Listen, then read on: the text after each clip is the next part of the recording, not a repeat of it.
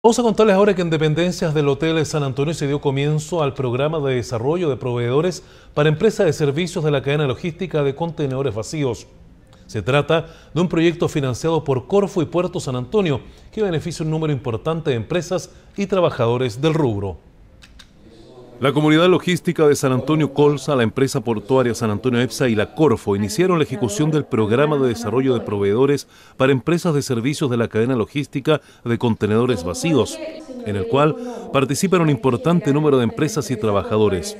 La secretaria de la Asociación de Porteadores de San Antonio, Gabriela Trigo, valoró esta actividad por la cual han venido trabajando hace mucho tiempo. En realidad este proyecto eh, era como bien ansiado por el lado de nosotros, porque nosotros somos como la parte la parte más caída de San Antonio. Los transportistas, tú sabes que siempre hemos tenido conflicto con San Antonio, no tenemos, no tenemos nada, en realidad somos como los hermanos guachitos acá de, San Antonio y, esto para nosotros es el principio de algo muy bueno, de algo excelente para todo lo que es transporte de porteo de San Antonio. Pero también el rubro de las empresas de camiones se verán beneficiados considerando que el mayor tráfico se da por los contenedores vacíos, lo que fue destacado por Luis Cantillana de Fede Quinta. Con todo este tema de profesionalizar la empresa, vamos a, nivelar los estándares y a su vez poder eh, llegar con mejores condiciones a, los proveedores de, a los proveedores de servicios o a los depósitos, ¿ya?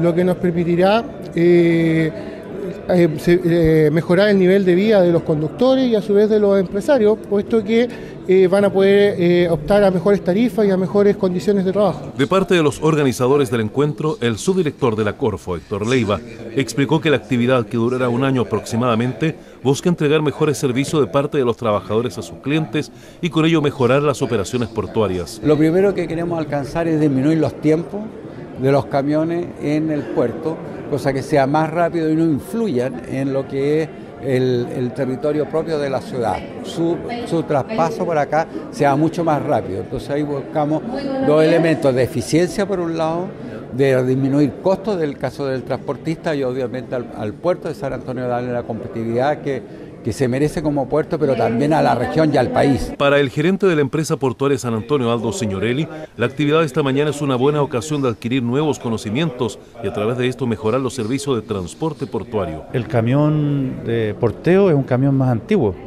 Por disposición pueden ser camiones más antiguos, no son camiones de carretera. Y esos camiones más antiguos eh, entran al puerto, eh, a veces pasan muy cerca de los trabajadores portuarios, los trabajadores portuarios nos, han pedido que les transmitamos a los porteadores que sean más cuidadosos de la conducción dentro del puerto, andan apurados por cumplir sus horarios.